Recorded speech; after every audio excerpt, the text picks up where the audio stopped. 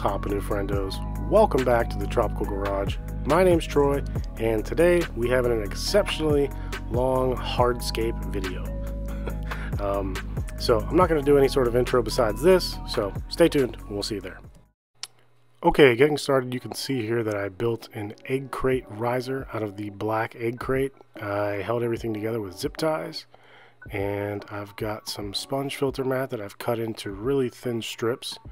This is just going to be the barrier between the land area or under the land area and the water area. And of course, I just use zip ties once again to secure this mat to the egg crate. And uh, I just did this all the way down. And the reason I did the egg crate riser instead of just doing sponge filter mat for the entire land area the tanks that I use sponge filter mat as the substrate and drainage layer in tanks that had a water feature, I was having issues with cyanobacteria. So uh, here you can see I'm marking my line just in case I move that riser. And here we have some waterfall boxes that are siliconed in place. I held the line up with zip ties and suction cups. Since this paludarium is 4 feet tall, I wanted to limit the amount of sagging from the weight of the wood as much as possible, so I gave them some sort of structure to bite into.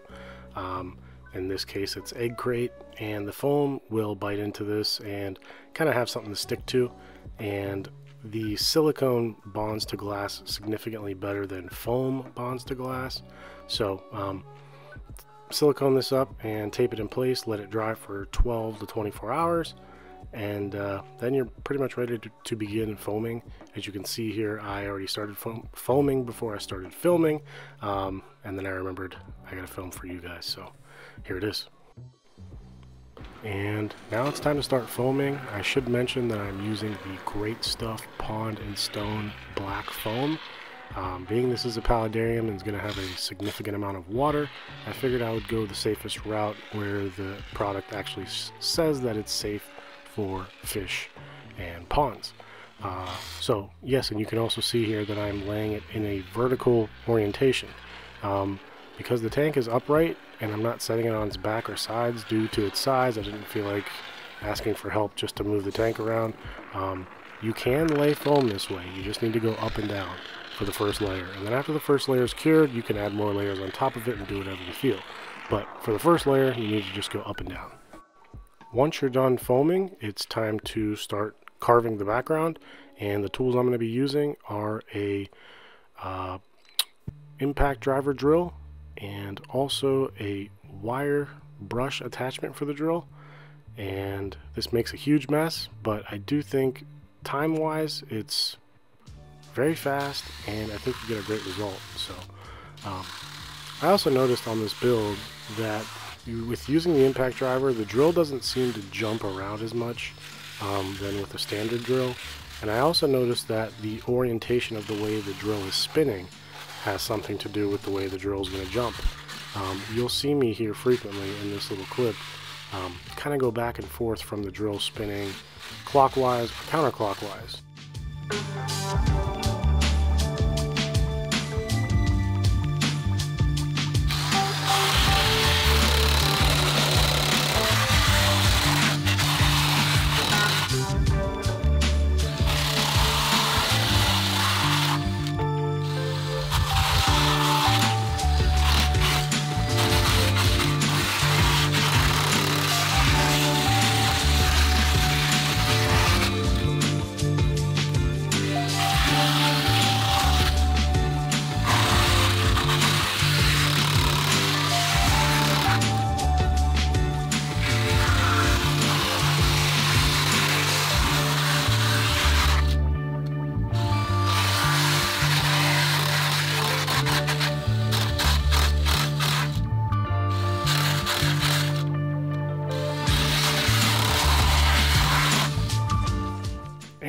After about an hour of carving and two hours of cleaning up the shavings, this is the result that you should have something looks like this.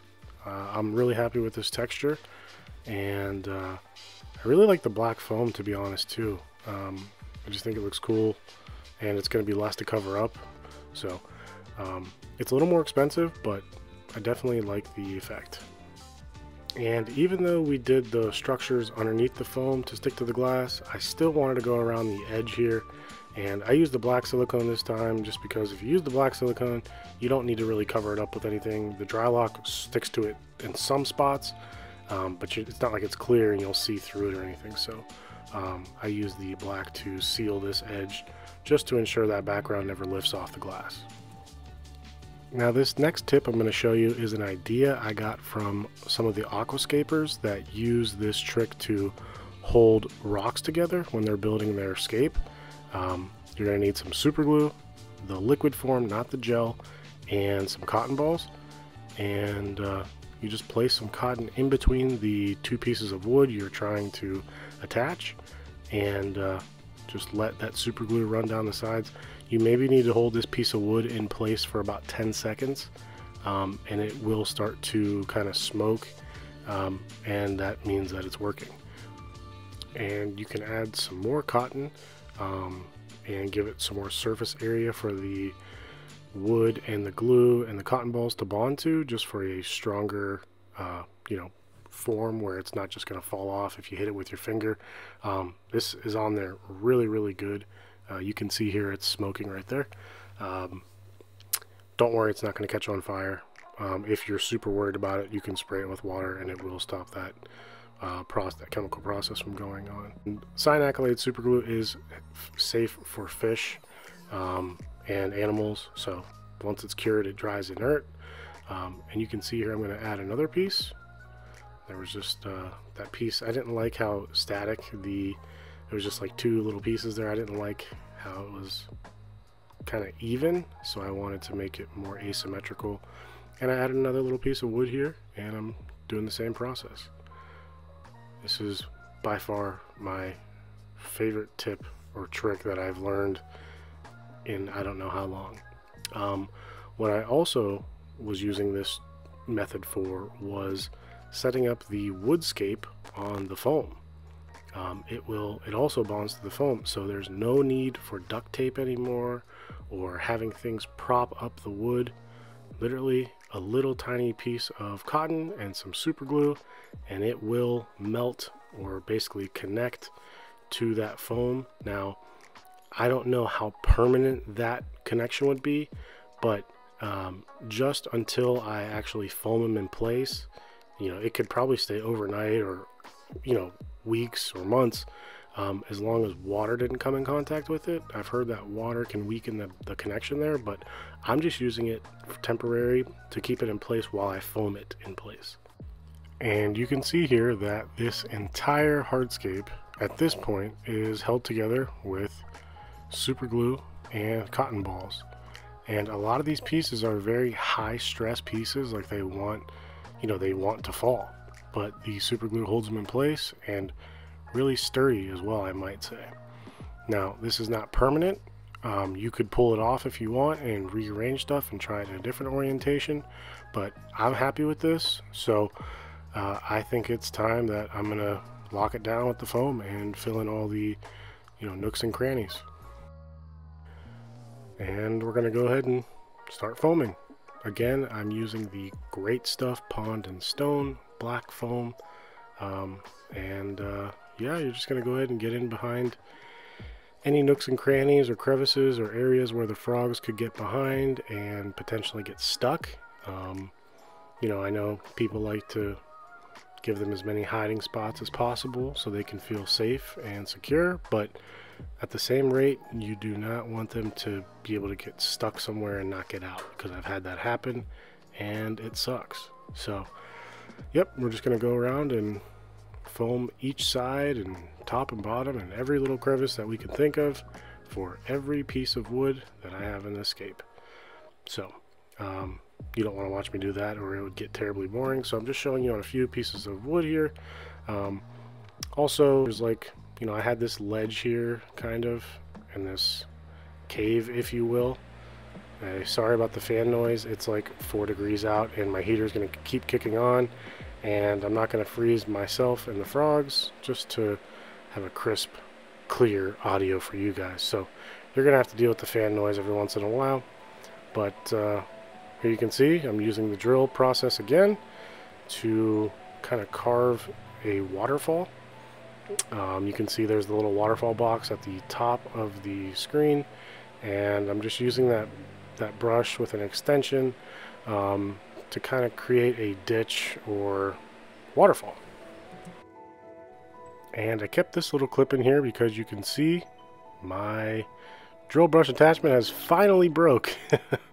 so I got a new one though and uh, you know this is what happens. So um, once you've got everything recarved again all around the pieces of wood and everything's looking neat and tidy or up to your liking, uh, it's time to vacuum all that crap off again.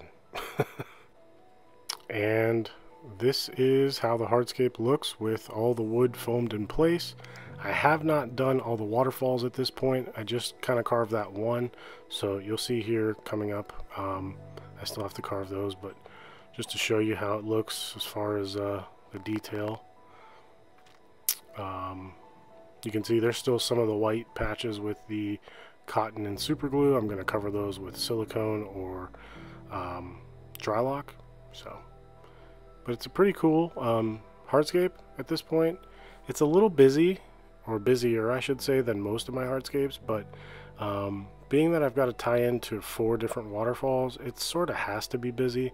But um, I think plants are going to hide a lot of the busyness that are going on, and it should be a successful hardscape. At least I'm hoping so.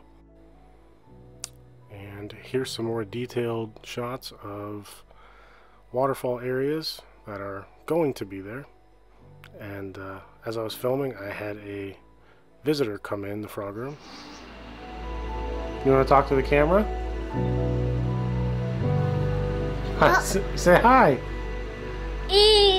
Say hi. Hey. That, of course, was my son Max. I think that's the first time you guys have seen him on camera. So, getting back to the build, I'm starting to work on the waterfalls as far as siliconing them and covering them and, you know, working with the water flow, testing that out, seeing how it's going to be, or getting an idea for it before I add silicone. So, um, yeah, I just kind of made some barriers and now I'm just doing a test, dumping some water. And I like that. I think that looks pretty cool. And, uh, you know, the other waterfalls are just going to, they're kind of going to flow right into the water. It's not going to drip like that. So I think that's a nice little change of pace there. Um, I, this is the side. It's you know when it's all silicone, it'll run right off into the water, nice and smooth. Um, and then the third waterfall up here, I really like the way it cascades there right in the middle. And then it's sort of going to drip down that piece of wood and run off. Once all that's siliconed again, um, it'll run off right into the water. So that should be a really cool look. And the last waterfall, I really didn't know what to do with, um, so I ended up tying it into the right side waterfall. Um, so there'll be two waterfalls basically on that right side main focal point piece of piece of wood that kind of looks like a fallen log. So um, yeah, and I'm using sponge filter mat to kind of make a, uh, a platform, so I don't need to use a ton of foam. I was getting a little low on foam here. I used about uh, 20, 22 cans total. so a lot of foam here. But it's a 300 gallon paludarium, so you know, what do you expect? But uh, yeah, just foam it in place on the top and the bottom to cover up that sponge filter, and then I'll carve it back down and uh, silicone it, and then see how the water runs off on that. And now it's time to start putting down some silicone to seal the edges to really lock the water down. Um, you know, so it pulls up in certain areas and doesn't really just run behind the pieces of wood or through the foam. Um, I mean, it's not a problem if it does that, but you know, I kind of have an idea of how I want the water to flow. So um, just trying to, you know, really seal, make an edge. Um, so when the water does run down, it goes the way I want it to. So I've just taken uh, some regular uh, ASI clear silicone and uh, smoothed it out with, you know, wearing a glove, of course. And I just sprinkled down a couple, you know, small pieces of wood I had there. And uh, that's actually ADA Amazonia. I just had some left over. I was like, yeah, see how it looks. You know, just trying it out. So um, it looks pretty cool. It's different and I think it's it, it, looks different from the other waterfalls, which is cool because that kind of looks natural. You know, if they all look exactly the same, it's gonna look you know fake and kind of dumb. Here I'm just covering another waterfall. I'm using the black silicone on this one because I'm not going to be covering it the same way as the other one. I plan on using peat moss here to cover, so um, just do the same thing though. Lay down some silicone and smooth it out. Um, you want to make sure that you on the waterfall box to the foam that it's you know sealed with the silicone so that the water doesn't run behind the water you know behind the foam. So you want to make sure that when the water gets to the top it you know rolls over that edge and runs down at a nice nice smooth flow. I just said knife with a lisp. That was pretty cool. Um, okay it's late. It's uh, 4:49 in the morning. And uh, here I'm just showing you how I'm carving the sponge filter mat for the land area basically the bank where the water meets the land. Um, I created a bunch of different levels and heights to give them more of a naturalistic look. I don't like in when it's such an abrupt, you know, land to water straight line, so that's what I'm doing here. And now it's time to do the Drylok which you guys have seen me do before. Um, that is the UGL Drylok in gray, just the original recipe or original form. Um, and then I mixed uh, some Quikrete color, uh, Quikrete cement colors with it. And I used buff and charcoal. Um, if you can find brown, brown's better because it's a darker color, but um, this works. I'm showing you here how I fade the two colors together. So I always start with the lighter color and then I just take small patches of the dark here and just kind of blend it right on the foam. Um, you know, basically like you're blending colors on a canvas. Uh, I guess maybe not all of you guys are painters like me, but uh, that's what I went to school for. So, um, you know, blending colors is, I guess, kind of second nature to me. But I'm just showing you here. Just take little dabs of it and then kind of uh, you know, wipe off the brush and then go back and just kind of blend it all. And uh, you'll get lots of, you know, transitions from lighter brown to darker brown and um, what I think looks very natural.